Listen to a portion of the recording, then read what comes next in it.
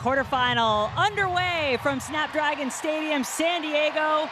Yuki Nagasato last year spent with Louisville. That's a bad touch from Sheridan!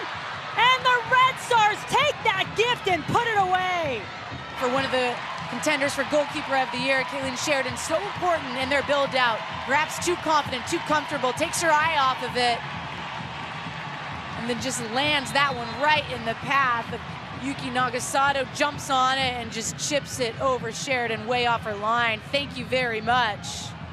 And in fact, the oldest goal scorer in the NWSL playoffs. Could we have the youngest? Shaw, the header, the save! What a sequence! He did have Gautrat slide into that back line just to provide a little bit of cover, but here the quick little shimmy gives her the window to release that one, and Morgan's falling away from it.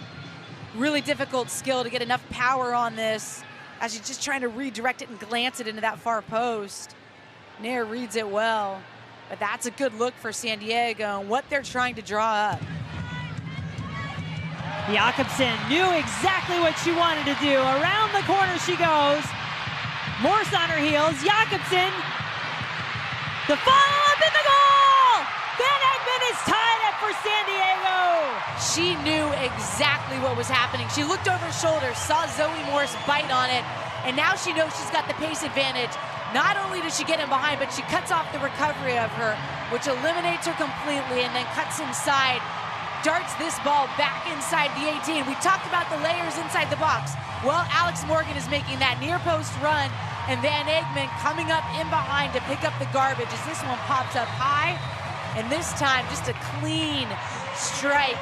Off to extra time we go. Got their groove a bit since then. Chicago laboring. Ball the box. Morgan the header! Did that stay out? San Diego team. Then you get the resurgence of Jakobsson wide. That pulls a player out. And then Alex Morgan just poaching inside the box. Corner kick of the match for Chicago. Header. Just glancing wide. Mallory Pugh just drives this one right between the penalty spot, the six-yard box. Gautrat doesn't even really have to move. She takes one step forward. Doniak bites on that, and then she just glides off her back shoulder. Really good power on this connection. Off a couple of bodies, picked up by Jakobsson. Now Morgan, who rifles the shot, and it's in! Of course it had to be Alex Morgan! Really good ball by Doniak just glides that one over into the far post, but Jakobsson pounces on the free ball. Alex Morgan pulls out, reestablishes just enough width to get herself faced up, and that is an incredibly difficult angle. This is a shot cross. She's hoping if she hits it perfectly, it finds its way into the back of the net. Well, she did. Naeher can't get down quickly enough, and that one bounces in the far corner. This San Diego team is flying high. The season continues for the Wave as they move on to the semifinals.